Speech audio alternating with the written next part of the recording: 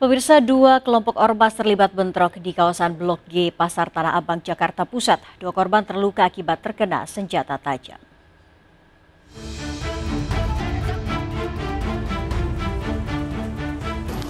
Seorang pria dipopong rekannya ke angkutan kota di Jalan Jembatan Tinggi Tanah Abang, Jakarta Pusat.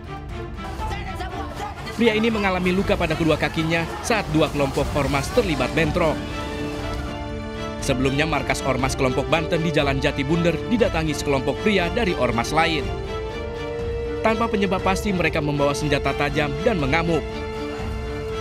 Dua korban dari anggota Ormas Banten luka parah terkena senjata tajam. Para korban dievakuasi ke rumah sakit Tarakan untuk mendapat pertolongan medis. Tahu-tahu mereka nyerang pakai senjata semua, celurit. Nah, dengan adanya penyerangan itu, karena kami ini kawan-kawan anggota nggak ada yang bawa senjata, ya uh, dia juga ngacak-ngacak kantor. Alhasil ada yang kena celurit dua orang udah dibawa ke rumah sakit. Untuk mengantisipasi bentrok susulan, polisi disiagakan untuk mengawal pengamanan di kawasan Pasar Tanah Abang. Dari Jakarta, Randi Sanjaya, iNews melaporkan.